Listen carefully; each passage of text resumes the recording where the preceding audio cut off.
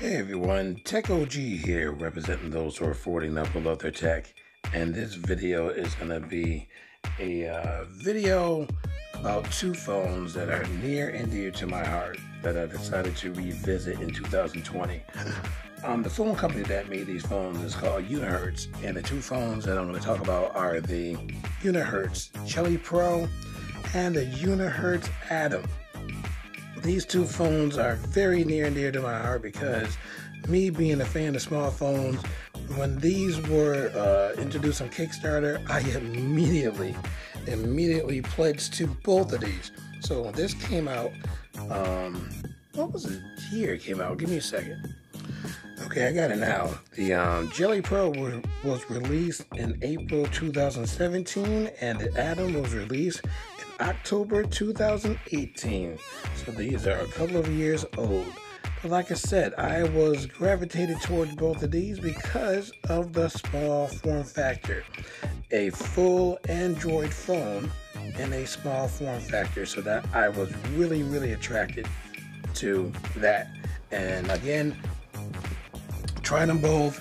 And when I got them, tried them out at the time, um, because of the screen size being too small and the functionality not working for what I needed to use it as for my daily driver, I decided at that time that both phones were not usable and sold them.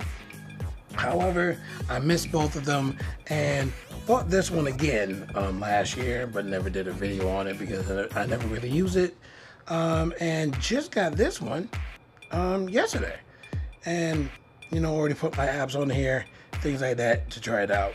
I didn't try it out, you know, 100%, 100%, but I tried it out for the gist of the things that I use it for. And so let me just go over both phones.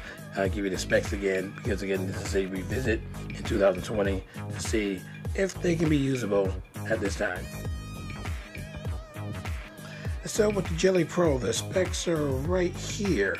Um, this sports a 2.45 screen, a 1.1 gigahertz quad-core processor, micro USB for charging, um, 2 megapixel camera on the front, 8 megapixels on the back with a nice little flash on the back as well, 950 milliamp battery.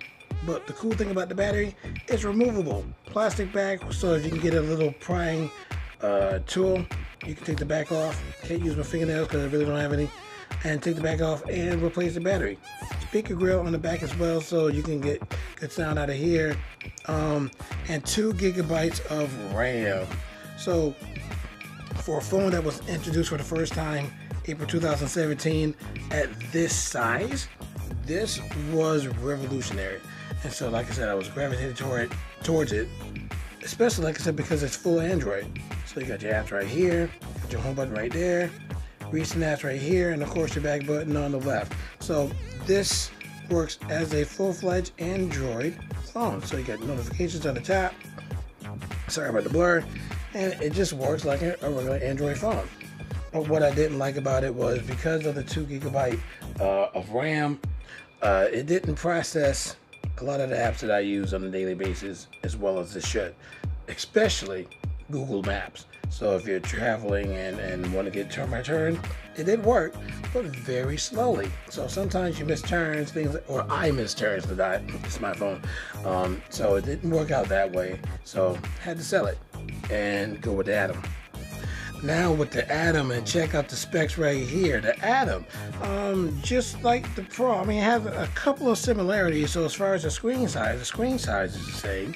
They both have, surprisingly, headphone jacks, and I didn't show the one on the Jelly Pro, but it does have one as you can see.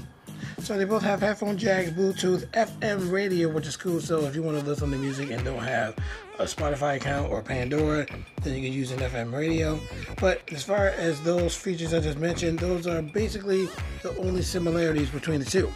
Now, the Atom, in my personal opinion, has the most improvements of any phone based on the predecessor and the successor, you know, from one to the next.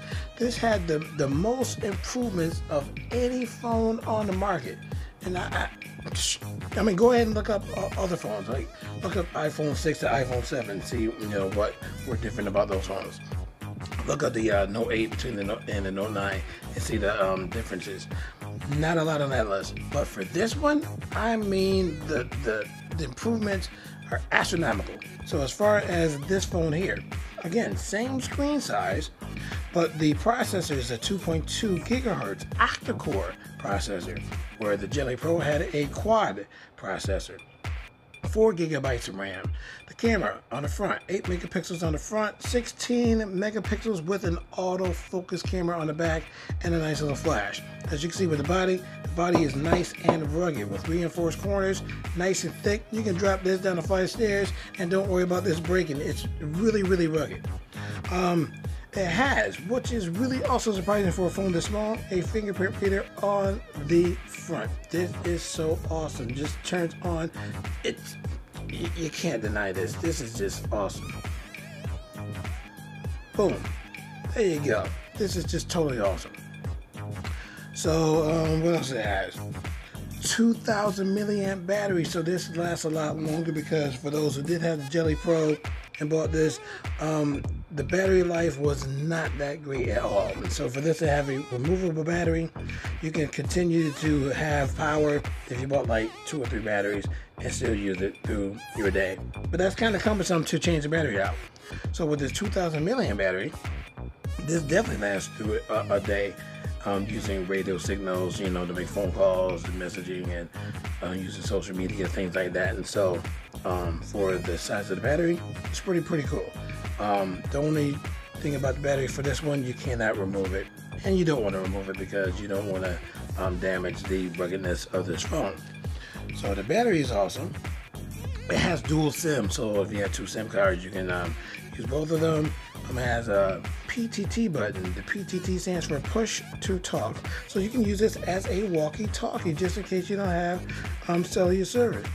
So that's what's kind of awesome about this phone as well um, USB-C connectivity for charging, and not only for charging, but you can also use this as OTG, which stands for on the go.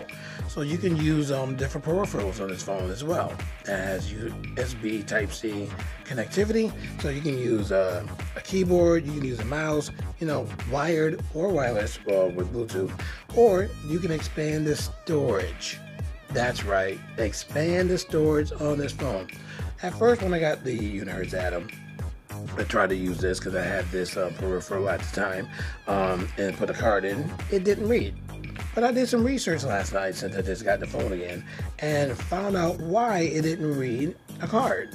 The card had to be in a specific format. Um, usually your micro SD cards are in a uh, exFAT format, but in order for the Atom to read it, it has to be in a FAT32 uh, format and I've configured it to be in FAT32 and now I'm able to use my 256 gigabyte card on this phone. How awesome is that? The only drawback with FAT32, you can only um, um, upload onto the card files up to four gigabytes in size. So if it's larger than that, you're out of luck. So if you wanted to put um, a movie on here that's larger than four gigabytes, then you're out of luck. But I have um, Netflix and I have um, other movie apps eh, or TV apps like Hulu where I can view uh, stuff on here without having to upload it onto the card. So I only have games and stuff on here, so I'll show you that in a minute and how that works. But like I said, this has a lot more improvements.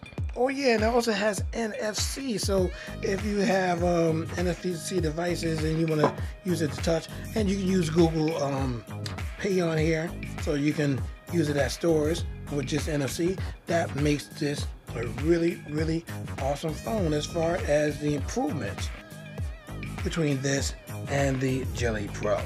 So this was definitely worth the money. Um, but at the time when I was using it, um, the drawbacks of this phone, I couldn't use my banking app at the time, so that was really, really bad. Um, what else? The camera on here was um, pretty atrocious as well. Um, the the noise that was in the pictures, it just made it look really, really pixelated, and that was that was really a drawback. And of course, typing on here because it's a 2.45 inch screen you know, just didn't make it that great. Even though Google uh, Keyboard is integrated in the phone, so you can um, swipe to type, or you can use um, Google Voice and you can uh, talk to type.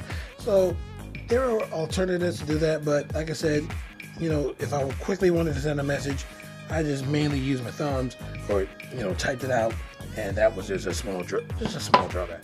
But as far as um, this phone being great, it was at the time. But like I said, because of the drawbacks, um, I just sold it when I first got it.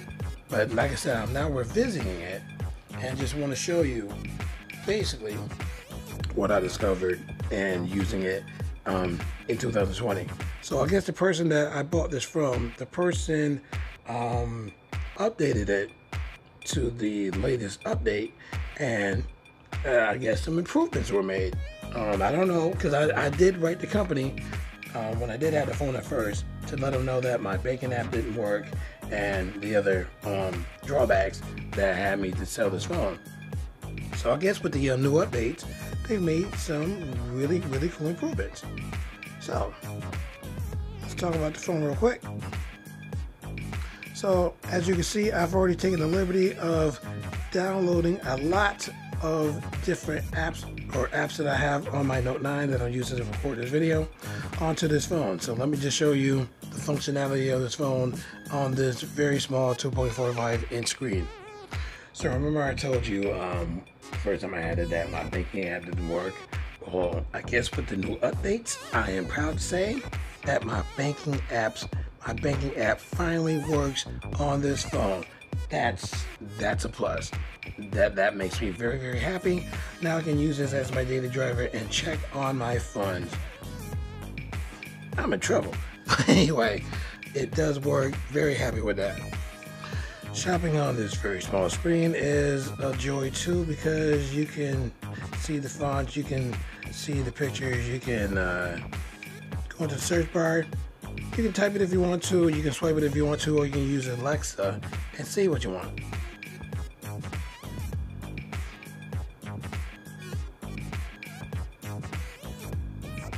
That's right. Come on. And iPhone 11.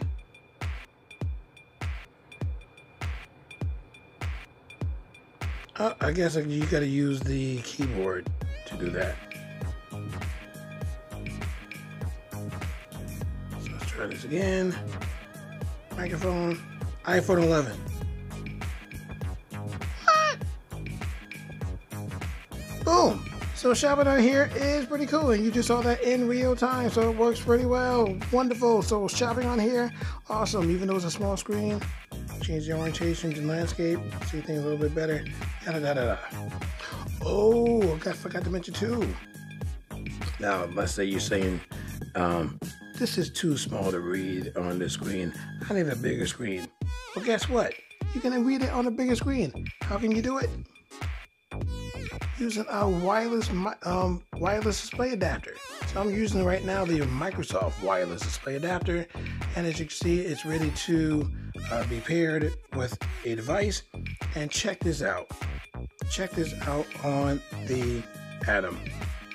Like this. Pull over. Look it it says cast. Right now it's going to search for a device to connect to. Give it a couple I couldn't do this the first time I had the Atom. Look how quickly it, look how quickly it quickly got on. This is awesome. Okay, okay, I don't have to, hold on, to me adjust the screen. Look at this. Can you say happy, happy, joy, joy. How zippy that is. It now connects to wireless display adapters. That makes this phone even more versatile. So if you're complaining about this or your significant other sitting next to you and say, I can't read that, I'm too blind. Boom, read that. This is awesome. Now you already know that because of the screen that um, when you try to play uh, touchscreen games, is going to be pretty cumbersome because your big old fat thumb is going to take up half the screen and trying to get a precise uh, precise movement on here is going to take a minute. But as you can see right now, it's not, it's not that, oh, oh, oh, it is bad. You just got to be precise. Bam. But it does work. So that's proof that even though you have some big fingers, um, like mine, you can still use touchscreen games. However, if you're playing Candy Crush, that might be a little cumbersome. So if you want, buy yourself a small stylus and you might be able to get a little bit more preciseness with the stylus than your big old fat finger because this is a lot smaller. So you can play touchscreen games on this uh, small screen and expand it on a wireless display adapter. So you're good to go. Watching movies and shows on the here is pretty cool too because the screen is very vivid and it works nicely. So I'm using Netflix right now and they got um, Akame ga Kill, which is one of my favorite animes. If you haven't seen this yet, go ahead and watch it. It's pretty cool. Um, so it works pretty well, runs pretty good, especially if you're on a good Wi-Fi signal and with the um, added RAM. Um, just works really, really well. So movie watching, cool. So playing music on here can get you dinged. Let me just use this anime as an example. So speaker grill is not that bad, so you can hear pretty well. But let's say you can't hear that well from the grill. Since it has a headphone jack, take this. And let's see what happens. Oh, I gotta turn it on.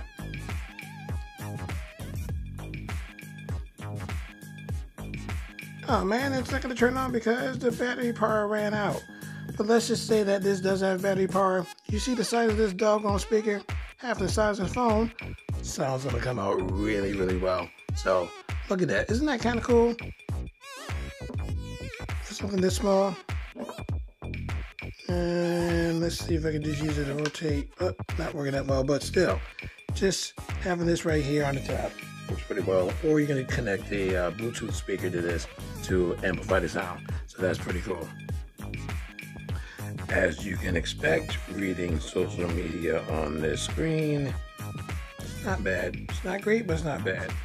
So you can still expand it or um, change the orientation or put it on the Microsoft or using a, a wireless display adapter, put it on the bigger screen and you're good to go. So you still can read it even if you're out and about. And the last thing I want to talk about are emulators. Um, when I had the Jelly Pro, I really never tested um, emulators on here because I knew because of the small size and the small processor, it wouldn't play a lot of the um, emulators or games and emulators that I would normally use. But with the Atom, with the added features and specs, um, putting uh, emulators on here, it's pretty cool. So let me just show you real quick one that I got set up. And like I said with the OTG, um, I have the games on the card and the emulators here. So this is going to be awesome to see. Here I'm using the PS1 emulator EPSXE, which is the best emulator for this um, for Android, in my opinion. So as you can see, I got these games on the card and they play pretty well. So the onboard controls, you can try to use those, but of course you know that because of the size of your fingers and the onboard controllers taking up pretty much the entire screen, you won't be able to have a good, really good uh, gaming experience. So of course, suggestion is get a Bluetooth controller. And again, the Wii controller, in my opinion, is the best controller you can have for any Android phone, even this one. It fits in it. It fits in it. well, the first time I did it, it didn't fall. So I don't know why it fell now. Anyway, it holds pretty good. It does hold pretty good. So what you just saw there was a flop. But it does hold. It does hold pretty good. When you pair it, it pairs nicely and you don't really have to do any configuration. It just instantly works with pretty much all your emulators and no configuration necessary.